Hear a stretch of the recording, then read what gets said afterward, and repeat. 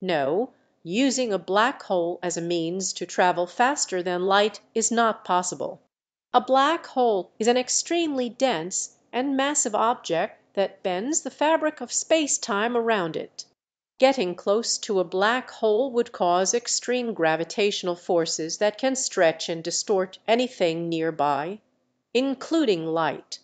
However, the concept of using a black hole for faster than light travel is still speculative and falls outside the realm of our current understanding of physics.